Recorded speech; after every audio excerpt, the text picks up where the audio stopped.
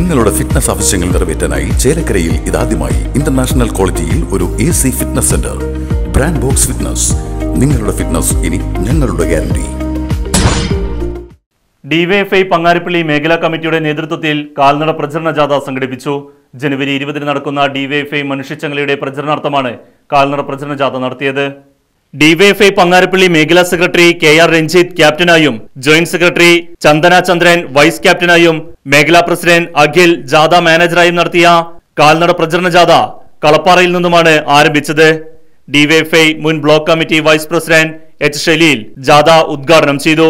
വൈകുന്നേരം നടന്ന സമാപന പൊതുയോഗം DYFI Chelakkara block committee secretary N Amalraj ഉദ്ഘാടനം ചെയ്തു.